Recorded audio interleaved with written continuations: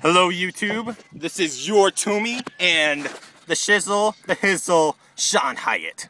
It's cracking.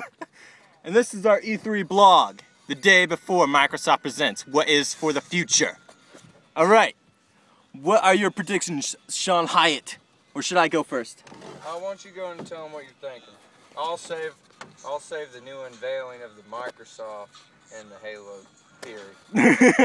I'll save that. Go ahead and tell them Okay, so that, you see that far distant cliff? That's where we're going. And we came from there. And this is Prairie Lee, represent, what, what? And we're gonna be jumping off that cliff over there.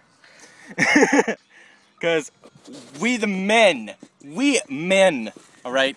Anyway, back to E3, because you guys don't care about how manly we are.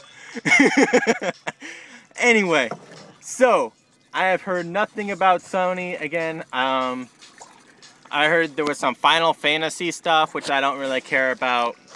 Me neither. uh, Nintendo Wii U. I haven't heard anything new about that. Uh, it's gonna be the main thing for Nintendo that they're gonna talk about. Um, so Microsoft, they're representing a day before This has never been done E3. This is crazy.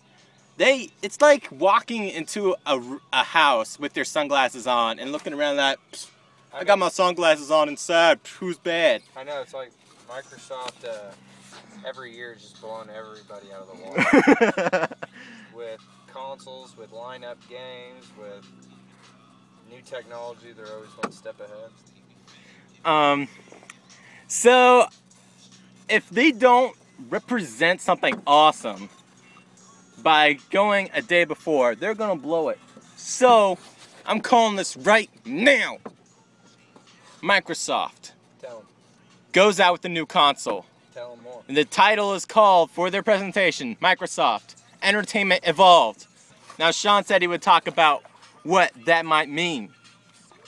Yep, uh, the new console, our theory is right now that uh, Halo 4 is going to be the launch title for the new technology, the new next gen. November 6th is when 6th, We are going to get it. Xbox. What is it going to be called? You know what I say would be a dream? Let's talk about what our dreams would be if it was announced. Talk to me. Xbox 3D. You use the Kinect. Can you get a view on that? We're going to get hit. We're gonna we're gonna be like flipped over, guys. So. we're gonna die. um. no bueno for our... this is no no bueno for our blog right now. Alright, they put it um anyway, the Kinect can be used for glasses free 3D. Do I have time left? Yes I do. Glasses free 3D using the Kinect. So the next Xbox will be called Can I get a drum roll? Xbox 3D. The third Xbox. You put the 3 and then the D. First definitive fuck you. okay? We didn't need the cussing, but it was awesome. It was necessary. I said truck. Uh, yes, he said truck. and know what would be even more awesome if Xbox pulled out, pulled down their pants in front of the Nintendo booth and said, we are going to call the next Xbox the Xbox 3DS. Oh my gosh. That'd be amazing. Nintendo would go home crying, and Xbox would go home smoking $100 bills as cigarettes, being, ha ha ha, we Microsoft, we bad, yo. What do you think, Shawn? What do you think? I think your theories are 100% correct, and they're not even theories anymore. They're facts.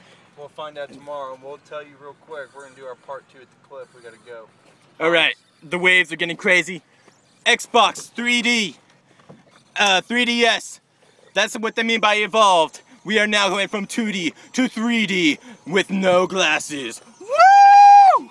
This has been your Toomey, once again representing with the shizzle for Rizzle, Shawn Hyatt. Peace!